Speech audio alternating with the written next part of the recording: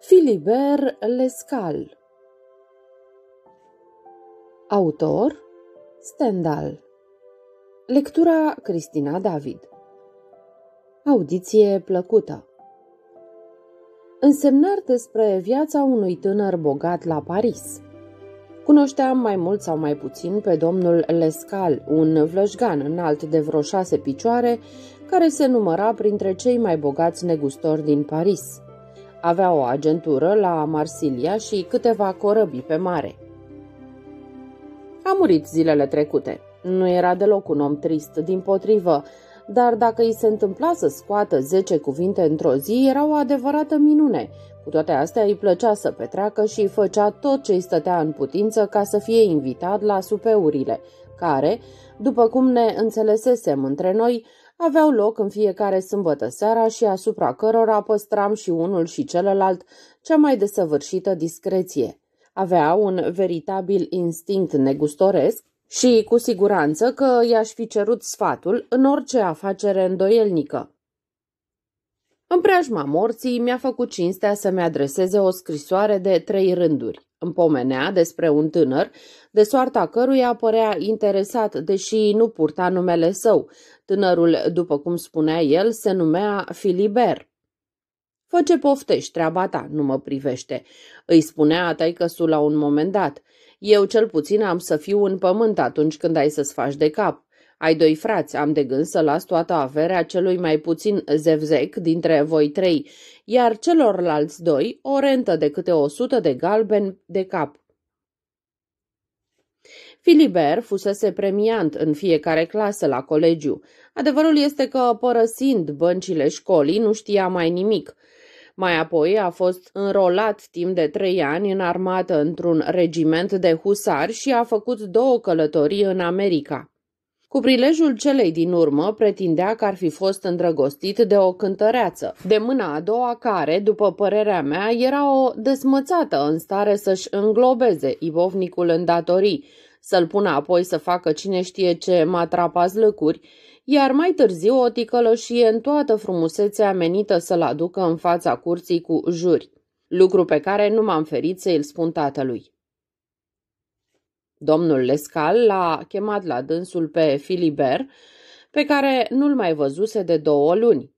Dacă vrei să părăsești Parisul și să te duci la Nouvel Orleans, i-a spus el, îți dau 15.000 de franci, banii însă ai să-i primești la bordul vasului pe care te vei îmbarca ca supraveghetor. Tânărul a plecat și lucrurile au fost în așa fel potrivite ca șederea sa în America să dureze, cu voia lui, bineînțeles, mai mult decât focul pasiunii sale. Vestea morții bietului Lescal, care, cât trăise, ținuse să treacă drept un om de 65 de ani, când în realitate avea 79, l-a obligat să se întoarcă în țară. Bătrânul își recunoscuse feciorul prin testament, lăsându-i un venit de 40.000 de livre. În plus, după ce va fi scos în vânzare și ultimele bunuri și va fi dat de fundul sacului, unul dintre prietenii lui Lescal era îndatorat să-i numere în palmă câte 200 de franci la fiecare început de lună și 300 de franci dacă s-ar întâmpla cumva să fie întemnițat pentru datorii. Filibert a trecut pe la mine să mă vadă. Era într-adevăr emoționat și cum stăruia cu tot din adinsul să-i dau un sfat, l-am povățuit. N-ai decât să rămâi la Paris dacă vrei, dar numai cu condiția să treci de partea opoziției legitimiste și să ponegrești guvernul, oricare ar fi el. Ia sub aripa dumitale o crotitoare, o demoazelă de la operă și caută să nu-ți prăpădești averea decât pe jumătate. Dacă faci așa cum îți spun, vom continua să ne vedem și pe viitor, iar peste vreo opt ani, când vei fi împlinit 32, cred că vei fi un om așezat. Sunt chiar și acum, cel puțin într-o privință, m-a asigurat el. Vă dau cuvântul meu de onoare că nu voi cheltui mai mult de 40.000 de franci pe an, dar de ce trebuie neapărat să intru în opoziție? E un rol mult mai avantajos și, pe de altă parte, cât se poate de potrivit pentru un om care nu are nimic de solicitat. Povestea de față nu prezintă vreun interes deosebit, dar am ținut să o notez fiind vorba de întâmplări trăite cu adevărat. Filibert a făcut tot felul de trăznăi, dar în același timp s-a străduit să urmeze sfaturile mele, atâta doar că în primul an a risipit 60.000 de franci, lucru de care s-a simțit atât de rușinat încât sunt convins că anul acesta nu va ajunge să cheltuiască nici 2000 de franci pe lună. Singur de capul său s-a apucat să studieze din nou latina și matematica. Are de gând să plece cumva într-o călătorie pe mare cu unul din vasele lui, să revadă America, să viziteze Indiile. Într-un cuvânt, cu toată averea asta picată din cer, ar putea să devină o persoană foarte distinsă și cred că ar fi mulțumit citind rândurile de față. I-am dat unele sfaturi care s-au dovedit folositoare.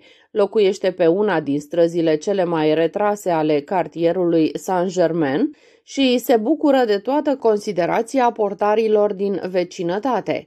Milosteniile pe care le face se ridică la suma de 50 de ludovici. N-are decât trei cai, pe care însă i-a cumpărat el însuși din Anglia. Nu este abonat la niciun cabinet de lectură și nu se învrednicește să citească o carte decât dacă îi aparține și este frumos legată. Nu are mai mult de doi servitori cu care nu stă de vorbă niciodată. În schimb, lefurile lor sporesc în fiecare an cu o pătrime. În vreo trei-patru rânduri a fost ispitit de unii și de alții în privința intențiilor sale de căsătorie – I-am declarat însă ritos că dacă se însoară cumva înainte de 36 de ani, nu mai vreau să știu de dânsul. Mă tot aștept să facă vreo prostie și mi-e teamă că mă atașez prea mult de el. Este foarte chipe și grozav de tăcut. Umblă mereu îmbrăcat în negru, așa cum l-am povățuit, ca și când ar fi în doliu. Am avut grijă să spun încolo și încoace în modul cel mai discret că este neconsolat de moartea unei doamne de la Baton Rouge, de lângă Nouvel Orleans. Ar vrea să se descotorosească de demoazela lui de la operă, dar mă tem să nu cadă în mrejele unei dragoste pătimașe și de aceea am stăruit să o păstreze. Hazul cel mare însă este să-l vezi la el, la moșia pe care l-am convins să o cumpere în apropiere de compenie, la patru leghe depărtare de oraș, în marginea pădurii. Ceea ce m-a determinat a fost îndeosebi societatea aleasă, vreau să spun cei opt sau zece proprietari de castele din vecinătate, care par oameni de ispravă. Toster Chiaberchea din partea locului îl ridică în slavă pe domnul Lescal. Împarte la toți prietenii și are în permanență aerul unui om pe care toată lumea îl trage pe sfoară. Este un cuceritor de inimi cu cele mai surprinzătoare succese, dar, la drept vorbind, nu poate să iubească decât o femeie pe care o vede jucând pe scenă de două ori pe săptămână. Teatrul pe care îl joacă celelalte femei este mult prea serios pentru gustul lui prea searbăd. În fine, Filibert Lescal este o persoană bine crescută și, totodată, ceea ce se cheamă un om drăguț.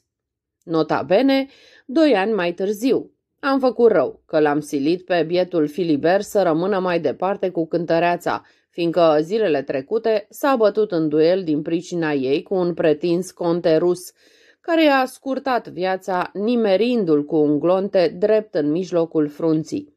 Prințul rus care era dator vândut și care, de altminteri, nu era nici prinț și nici rus, s-a folosit de acest prilej și a părăsit în grabă Franța și locul său în lojă la operă.